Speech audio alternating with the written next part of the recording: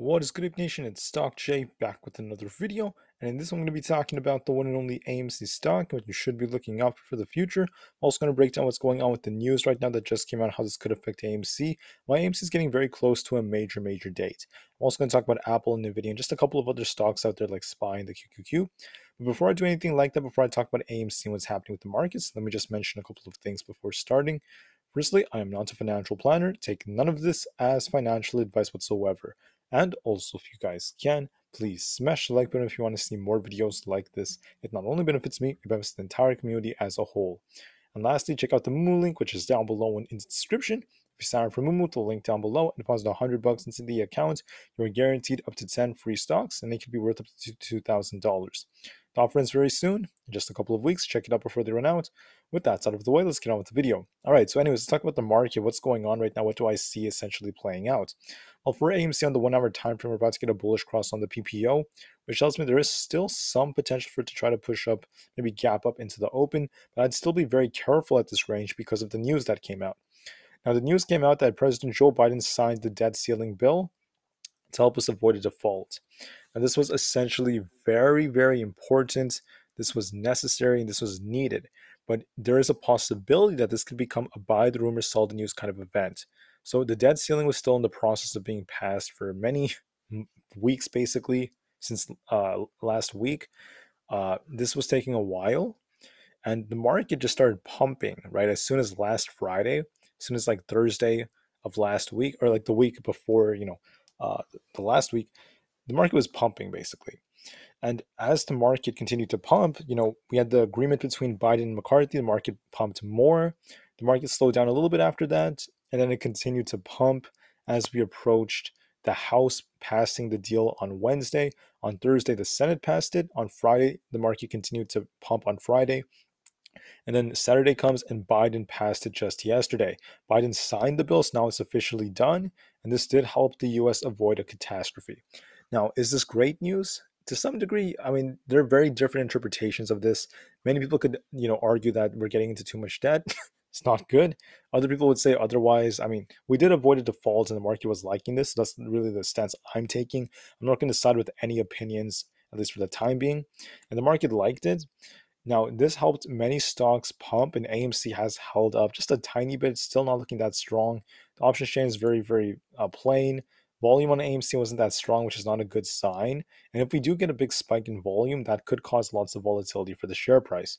Let me just also add that when it comes to the short interest, this is still uh, very low, at least on the legal side. I don't have enough data from like what's going on with naked shorts, but I am seeing a big increase in the FTDs. And that's very, very suspicious. So let's break down the charts. I just want to note to you guys that right now the market's not looking the best because if you look at SPY, we're about to get a bearish cross in the one hour time frame on the PPO. And finally, we're very overbought. So I'm thinking of two possibilities. Number one would be either, you know, one more push, maybe a gap up uh, to this 428 to 430 area before it starts to downtrend, or we just start downtrending from here. It's got to be one of those two. I'm leaning more in the direction of downside. And I'm anticipating over the next couple of trading days, SPY is going to revisit 425. I'm leaning in that direction. It could even drop lower if 425 breaks. If that does break, the next important level is going to be closer to 424, followed by this gap that's unfilled all the way down to 422. Those are important levels. The most significant one is going to be 420. Then this imbalance down here at like 417.8. Uh, Those are some levels to watch.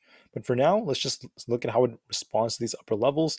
If it breaks below 427.5, I'm going to be watching the 425s be retested. And I think the odds greatly favor that. Now, we could get one more push first before the downside comes, but I am leaning more towards downside as we're very overbought on Tesla. Uh, there's also, you know, a bearish cross in the one hour uh, PPO, right? When this happened, we tend to see Tesla drop quite a bit most of the time. And it looks to me like there are two possibilities on Tesla. Either it pumps a little bit more and then we just start downtrending, or it just continues to downtrend. My target will most likely be down here in this 210 area. 209 to 210 is where Tesla's likely going to go. That's where we have this imbalance, and it's going to be attracting the algos. If that breaks, if it breaks below 209, there's this unfilled gap in the pre-market at 207. Tesla's going to test the 207s if it fails at 209 to 210. And the odds favor it at least making it to 209 to 210. For the QQQ, I'm going to be watching this level carefully. I just want to note that the QQQ has a bearish divergence and we have a bearish cross on the one hour time frame on the PPO. That tells me that if the QQQ breaks below this 353 support, it is going to likely come all the way back down to 349 to 350. Once again, dragging the market down with it. Now, for NVIDIA, if you're watching NVIDIA, it's likely going to follow a lot of these steps. Uh, there's this downtrend that has been respected, at least to some degree. And uh, if anything with NVIDIA, there is this nice support at this three 32, uh, 375 excuse me, area. Uh, I'm looking at the video from this perspective. There's a bearish cross on the PPO, and we need to hold above the 1 hour 50 EMA to bounce. It might try to bounce just a little bit, but it's going to be fighting around this 400 if it does try in the pre market. It's likely going to reject, and if the market downtrends, which I think it will, NVIDIA might make its way all the way back down to the 377 to 375 area. If it does reject and break below the 50, the odds do favor that looking at the QQQ and NASDAQ. NASDAQ also has a bearish divergence. And finally, for Apple, if you're interested in Apple, they have a big event very soon, so this could actually help the market, at least to some degree. It could help Apple try to hold up. Let me find my Apple chart. I think it's down here. But anyways, for Apple, it's holding up for now. But remember, these events could be like buy the rumor, sell the news. Uh, there's also a bearish divergence developing on Apple. So if it does pump off the, like the big event, uh, it could try to pump a little bit or at least hold these levels temporarily but then it's going to likely start selling off thanks to this bearish divergence as long as it's valid. And so far, it's still valid. So I'd be very careful right here, right? We could see the RSI was at 81 before. The RSI hit a high of 78 despite the price making a much higher high. So that's not the best of signs. And that tells me that Apple might get a cool off soon. Uh, if that's the case, I'd be very careful, but we'll have to just wait and see on that. Last but not least, for ticker symbol AMC. AMC is very choppy, lots of algorithmic trading, but there was an in, uh, inverse head and shoulders that formed right here where AMC tried to pump. It might make an attempt to pump a little bit more to get closer to 4.8 before it rejects. There might be some relative strength for it, but I think the overall market may slow it down simultaneously, unfortunately. That's because we have a potential bearish divergence in the process of developing. So I'm leaning towards AMC getting one more pump up to this like 4.81 area, then getting a rejection coming right back down to 4.5 and just trending sideways for the time being. As the market cools off a bit, this may cause AMC to slow down. I want to warn you about that. Even if we do get a pump in the pre-market early tomorrow, if it breaks above 4.8, then it's going to make its way up to $5, but I'm not leaning in that direction. And let me just add that for the future, okay, we have a big event coming out with the settlement in just a couple of weeks if AMC does get a settlement, we might see AMC drop with ape kind of like pumping, but things could change after that.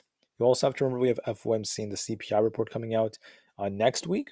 When they come out, if the market gets a big pump, this could help AMC too. But for now, AMC is trading kind of sideways, not really doing too much. I'd rather be very patient with it.